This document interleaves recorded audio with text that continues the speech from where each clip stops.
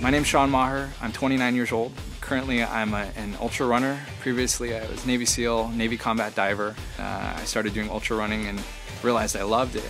I tend to like to do 24 hour events. Um, I'll do any obstacle course event.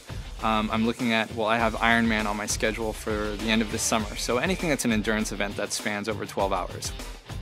What the Herbalife 24 line has really allowed me to do in a short period of time is train at the intensity um, that it takes to have the kind of results I have. It's a full line that I can manipulate specifically for the sport or event, whether it's a workout training session or an endurance event that we're doing.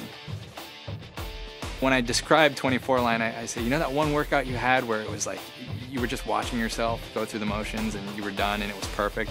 So that's the Herbalife 24 line every single time I train. Herbalife 24 line has transformed my workouts from experiencing the physical pains in my body to observing myself go through a workout, coming out of a workout, recovering clean, uh, waking up the next day and doing it again. Uh, I'm just excited to see what the company keeps doing with the, uh, the sports nutrition line.